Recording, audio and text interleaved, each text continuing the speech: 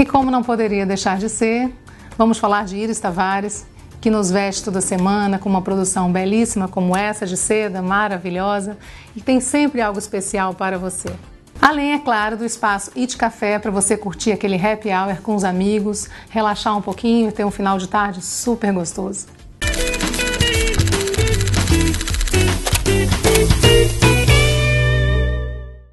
Hoje eu vou contar uma das histórias mais bonitas da Bíblia, que é a minha preferida. Meu pai me conta essa história desde que eu era bem pequenininho. Agora eu já sou quase adulto. Eu já sou quase adulto, mamãe.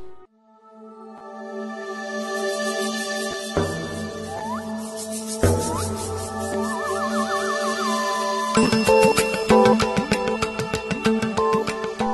história de Davi começa com a escolha de Deus para substituir o rei Saul. Deus mandou um velhinho chamado Samuel para a casa de Jessé, que tinha oito filhos. O rei deveria ser um deles, mas Jessé só apresentou sete filhos.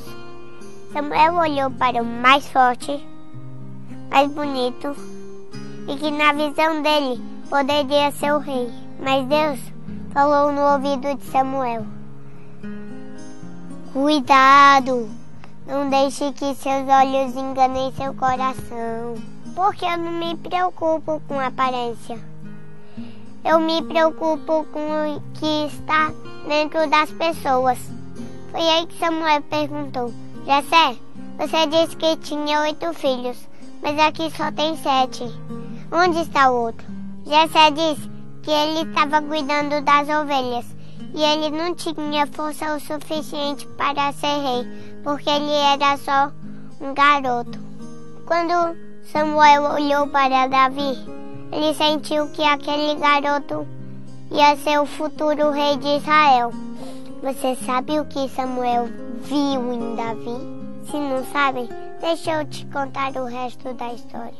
Um dia, os filhos de Jessé foram convocados para uma guerra, mas Davi não foi, porque todo mundo achava ele fracote e só sabia cuidar de ovelhas.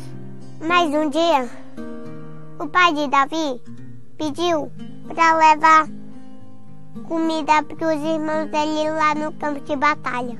E como Davi era obediente, ele fez o que seu pai mandou. Davi caminhou muito para chegar no campo de batalha. E quando chegou lá, teve uma decepção.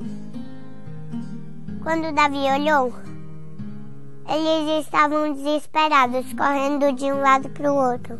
Eles estavam com medo do gigante Golias.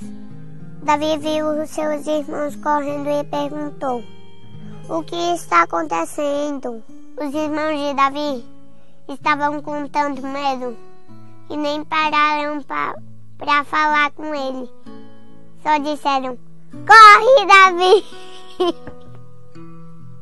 E Davi saiu doido correndo para o acampamento.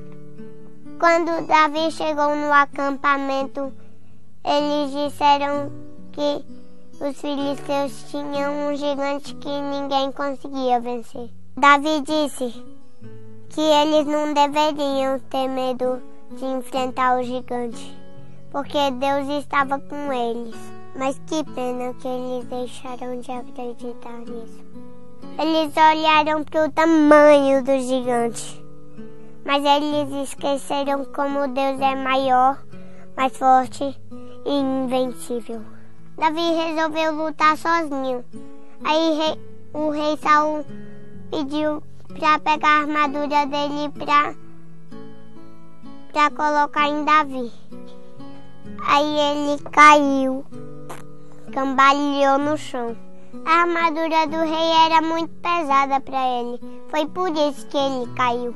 Aí Davi falou: A única proteção que eu preciso é a proteção de Deus e mais nada. Depois disso, ele foi até a beira do riacho catar pedrinhas.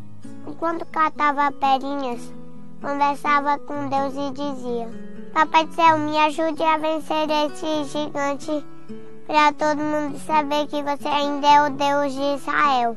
Davi falou mais um monte de coisas. Depois foi lá onde o gigante Golias estava. Quando Golias viu Davi, ele começou a rir. Oh, oh, oh, oh, oh. O gigante falou que Davi não era de nada. Davi disse: Eu não sou de nada, mas o Deus que está em mim vai lutar contra você. Davi pegou uma pedrinha, girou, girou e pum! A pedra acertou bem na testa de Golias. O resto da história todo mundo já sabe.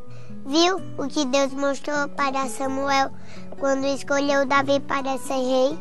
Ele não viu um menininho fracote, mas viu um gigante que confiava no poder de Deus para fazer qualquer coisa. Não foi o soldado mais forte e mais bonito que venceu Golias, mas também não foi Davi, muito menos aquela pedrinha. Somente a confiança no poder de Deus pode fazer de garotos fracotes com pedrinhas insignificantes derrubarem os gigantes que surgem no nosso caminho.